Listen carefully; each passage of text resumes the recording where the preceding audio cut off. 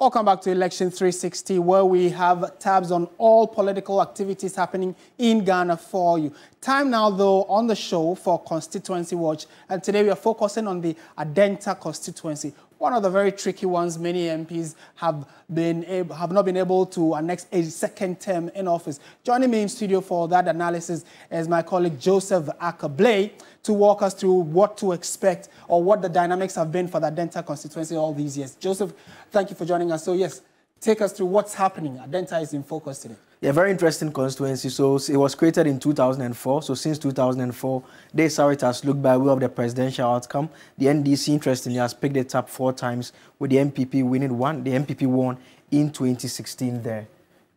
In terms of the parliamentary, that is where the big discussion is all about this time around because of the fact that since its creation in 2004, the NPP, they've had a seat twice, with the NDC also having a seat three times in 20, 2008, 2012, and 2020, and also going into 2024. So the NDC has the seat. Uh, now, the 2024 dynamics is quite interesting. It's a tough race between Mohamed Adamu Ramadan, the current member of parliament, who interestingly is related to the second lady, Samira uh, Bawumia, coming up against Akosua Manu, who is a member of the governing New Patriotic Party. Now, what makes this dynamic interesting is the fact that since the constituency was created in 2004, no candidate has gotten a second term. So it's either you lose at the level of your party primaries mm. or you lose in the main elections. okay. So there are those who won the elections proper, they lost their party primaries, so they couldn't seek a second term. Right. Then there are those who actually won their party's primaries, but they lost. Mm. So uh, Mr. Mohamed Adamu Ramadan will be seeking to make history going into the 2024 election by being the first to serve a second term. And so that is very interesting dynamic that we have here from the Adentan constituency. And we are unable to tell what exactly the constituents look out for. Is it just probably they are thinking that nobody should have two terms as member of parliament, which seems to be the standard for the presidential? I think we tend to see that a lot in areas that are quite cosmopolitan and also particularly in areas where it has not been annexed by a particular political party. And so if you've not been able to, so you can do a contradistinction between that and maybe a place like Dome Kwabenya. Mm. I mean, if a party has a hold for a period of time, you're able to establish your control and then say that, look, this is your stronghold. Mm. So even the presidential results even tells that story. I mean, it's 4-1 here.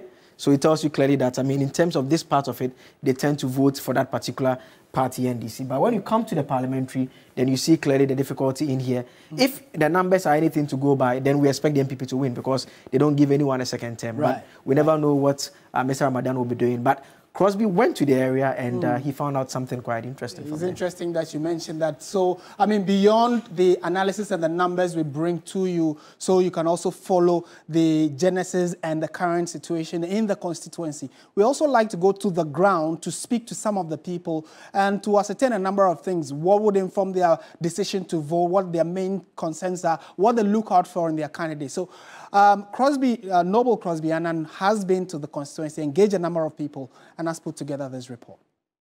Adentan constituency, a bustling constituency located in the Greater Accra region, has emerged as a pivotal battleground ahead of the December 7 general elections. The constituency has long been the center of a political tug of war between the ruling NPP and the opposition, the NDC. The constituency has seen the opposition NDC win the presidential elections four times, while the ruling NPP has won once since its creation in 2004.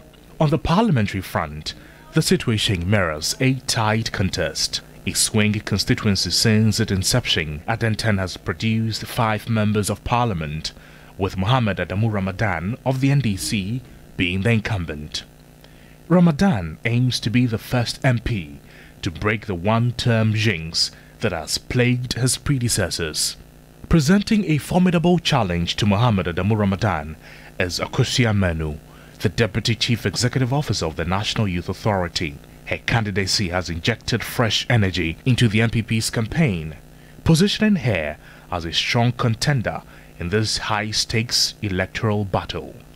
As the election approaches, both parties are ramping up their efforts to win over voters. Campaign rallies, door-to-door -door engagements, and social media outreach are all in full swing as candidates strive to make their case. Adentan's electorate is diverse, comprising long-term residents and new arrivals. The question is, what will you consider before you vote? You can see my road. I have a very bad road with big, big potholes. The dust is, is, is worrying me a lot. Every time we are having cold and I think I have to vote for another person, that we need a change. Our roads are very, very bad, especially from Victory, eh, Victory Press Decline, Neil gone, everything is out of control. Nothing is going on. The same old story now. So I don't see there's no sense. Uh, so now we keep Ramadan also. So we have to change it.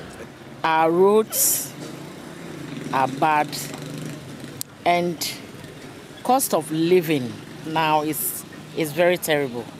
Number one, maybe uh, your way to see a year coin Our roads are poor. It's even worse when it rains. Our gutters are also choked. People complain about water too. Although we pay water bills, our taps do not flow.